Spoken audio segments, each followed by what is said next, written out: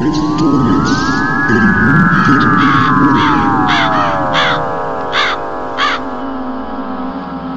mis cuervis, soy Marel por si no me conoces. Hoy te contaré sobre un algo ancestral que hemos venido buscando los humanos por los siglos de los siglos, la inmortalidad.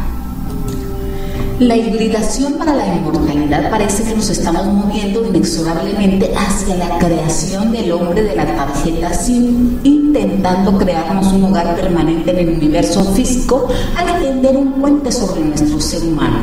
Biologías que son vulnerables a descomponerse y descomponerse en modos operandi artificiales más difíciles de llevar al mismo tiempo buscamos reemplazar la delicada realidad del sentimiento y la imaginación humanas con un sentido de la realidad virtual del núcleo duro.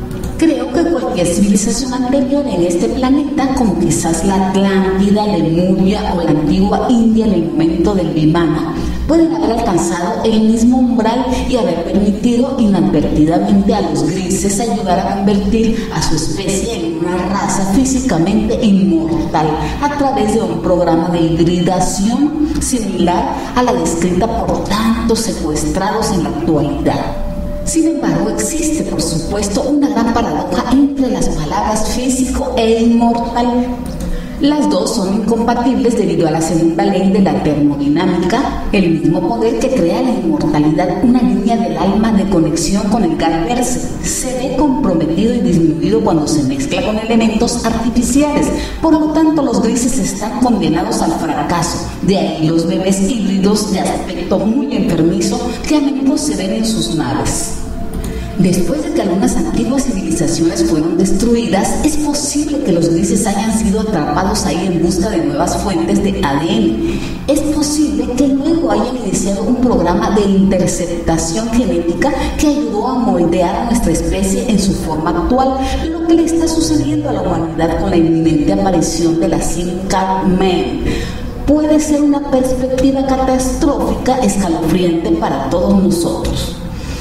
Al permitirnos ser transformados así, estaremos asegurando la pérdida de nuestro ámbito eterno natural a cambio de uno introducido artificialmente que permite la inmortalidad que siempre tiene que progresar en etapas temporales. Se trata de una inmortalidad que necesitará constantes renovaciones tecnológicas debido a la acción interesante y continua de la segunda ley que arrasa con cada etapa anterior. Existe mucha especulación sobre los diferentes tipos de especies exóticas que se observan. Creo que esta variedad, ya sean reptiles, insectoides o anfibios, son producto de su contacto con otras especies en planeta como el nuestro. Estos son híbridos que hicieron que inevitablemente se rompieran para expresar la forma animal descentralizada de la especie original.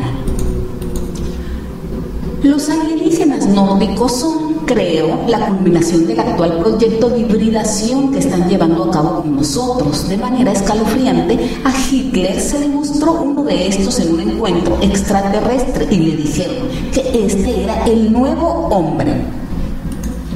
La mayor ironía es que los grises no se dan cuenta de que no pueden con medios físicos manejar algo que no es físico como nuestra alma, simplemente porque solo entienden lo físico. La tragedia radica en el daño que hacen al tratar de alcanzar lo que no pueden alcanzar,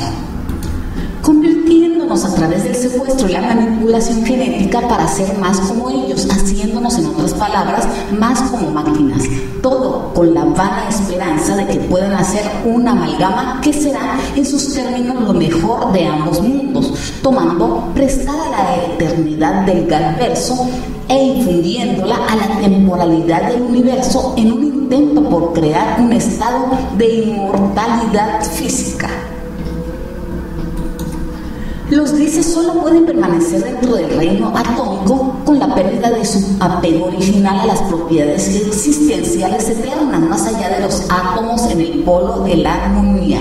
No pueden ir más lejos, ya que ahora son creaciones puramente físicas, no pueden morir en el sentido en que lo hacemos nosotros y, por lo tanto, alcanzan naturalmente la puerta del universo a través de los puntos centrales del espacio entre los átomos.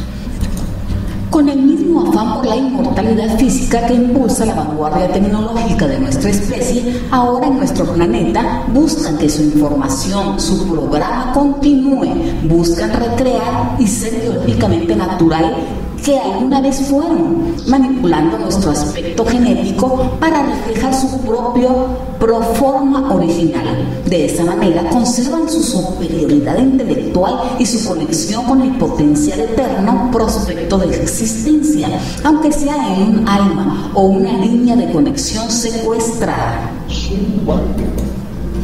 Pero, y este es el problema, nunca podrán hacerlo. El campo del alma es una huella digital única. La entrada de Godverse solo está marcada para el propietario natural original porque cada bit de información está enmarcada con la experiencia del original y solo el portador original puede conocer la experiencia que lo sacó del Godverse. En un complemento puede ser consciente de esa experiencia y seguir la pista de regreso. Sería un esfuerzo en vano, pero los grises nunca podrán saberlo como tal desde su punto de vista, ya que han perdido su propia pista individual y se han convertido en entidades artificiales sin card. Esto es el hombre tarjeta las líneas de batalla de la existencialidad entre lo artificial y lo natural se trazaron hace miles y miles de millones de años en el Big Bang. Nos sentamos en su postura contemporánea en este momento. Lo que es natural está programado para la máxima resistencia eterna. En fin, depende de nosotros como la especie cumbre del esfuerzo natural aquí en nuestro cuello del bosque en el espacio-tiempo, ver la verdad de todo y tomar las decisiones que mantengan esta postura, la perseverancia del ser. El hombre de la tarjeta SIM nos atrae a todos. Los grises son vanguardia y su alma mater. ¿Elegiremos como especie cantar su canción y no la nuestra? Perdiendo así para siempre la existencia de la magnificencia potencial que realmente somos? Así, mis cuerditos, la evidencia muestra que los extraterrestres cosechan de nosotros de varias maneras, tanto emocional y energéticamente como físicamente. Incluso hay casos reportados de instalaciones en las que se procesan cuerpos humanos y estos informes provienen de personas que no están familiarizadas con la literatura ufológica.